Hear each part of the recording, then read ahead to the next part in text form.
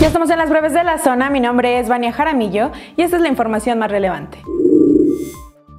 Esta mañana, el general secretario Luis Crescencio Sandoval, durante la conferencia matutina del presidente Andrés Manuel López Obrador, presentó los videos de la detención de Ovidio Guzmán López.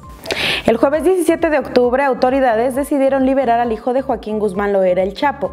Las fuerzas federales pretendían detenerlo. Lo hicieron brevemente y luego lo soltaron.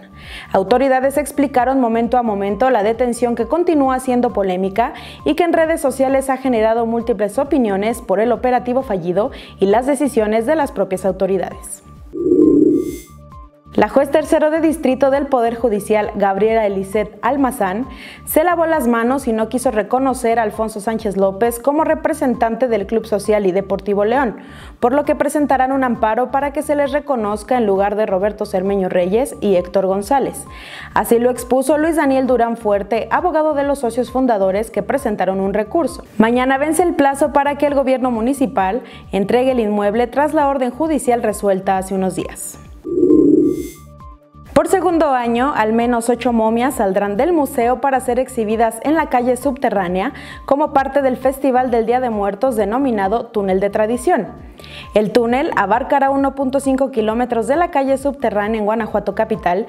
Iniciará el día de hoy a las 8 de la noche hasta el domingo 3 de noviembre. Para la inauguración prevista se contará con la presentación musical del Fideo Cósmico a partir de las 9 de la noche y el resto de los días también habrá otros grupos musicales.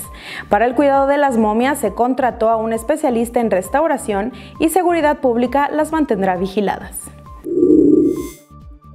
De última hora, la Fiscalía General del Estado informó que detuvo a Óscar Gerardo alias El Mosca, presunto autor del homicidio del estudiante Gabriel Luna Ibarra en Celaya.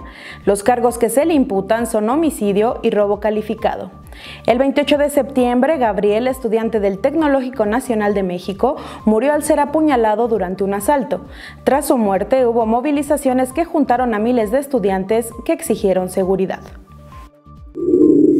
Checa todos los detalles de la información en zonafranca.mx. Quédate también pendiente de todas nuestras redes sociales. Y por supuesto, mañana Carmen Martínez te presenta más información.